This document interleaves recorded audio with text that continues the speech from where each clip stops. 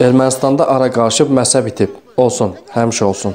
Ölkənin daha doğrusu 56 siyasi və hərbi qurumun daxilində qarşılıqlar var. Bunu baş nazir Paşinyan da Facebookdakı canlı çıxışında belə bildirmişdi. Nə olduğunu heç özüm də bilmirəm.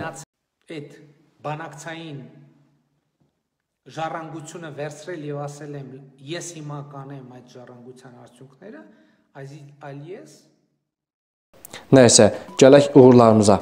Döyüşdə və diplomatiyada kimin güclü olduğunu sübut etdik. Müharibədə kimlərlə döyüşdüyümüzü də bilirdik. Necə ki, ölkə başçısı hər çıxışında, hər müsahibəsində bunu bildirirdi.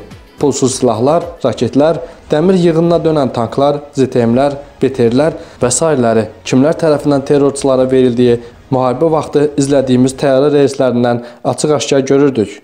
Dünən qovulan sahibi özünü demək olar ki, rəsmi şəkildə göstərdi. Bəyanatlar imzalandı, öhdəliklər götürüldü filan. Bu gün isə mənzərə daha ürək açandır.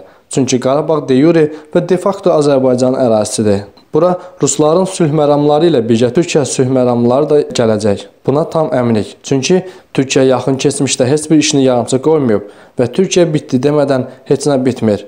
Bu halda təbii ki, bizi qürurlandırır. Vəziyyətin ürək asanlığını bu gün keçirilən görüşdə də görmək olar. Türkiyənin ali siyasiləri və generalları ölkəmizdə rəsmi səfərdə oldular. Ölkə başçısı Xarici İşlər Naziri Mövlud Çavuşoğlunu, Milli Müdafiə Naziri Hulusi Akarı və Milli Kəşfiyyat İdarəsinin rəisi Hakan Fidanı qəbul edib. Vəziyyətin nəticəsinin necə xeyrimizə olduğunu bildirmək üçün ölkə başçısının görüş zamanı qardaş Türkiyə rəsmilərinə dediyi fikirləri çatdırırıq. Stat.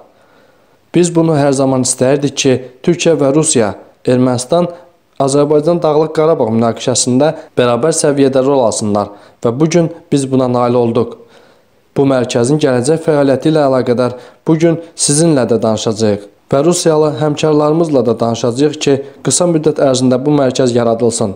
Çünki erməni silahlı qüvvələrinin torpaqlarımızdan çıxarılmasının artıq cədvəli var. Bu ayın sonuna qədər onlar bütün torpaqlardan, hələ də işğal altında olan torpaqlardan çəkilməlidirlər. Beləliklə, bu mərkəzin qısa bir zaman çərçivəsində yaradılmasında çox böyük fayda var. Bir daha xoş gəlmisiniz. Öz doğma evinizə xoş gəlmisiniz. Statın sonu. Yol çəkirdin Cəbrayıla. Rəqs eləyirdi. Nə oldu be status? Cəhənnəmə getdi status. Gora getdi status. Görba gör oldu status. Yoxdur status.